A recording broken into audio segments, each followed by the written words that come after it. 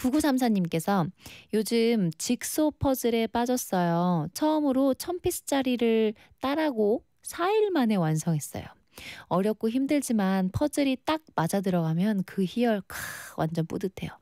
와, 이 퍼즐 진짜 너무 재밌어요. 저도 요새 하은이랑 퍼즐을 하기 시작하는데 뭐 천 piece는 아니지만 뭐 스물네 piece, 서른두 piece 뭐 이런 거 하기 시작하는데 뭐 주주, 시크릿 주주, 뭐 타요 이런 거 하는데 너무 재밌더라고요.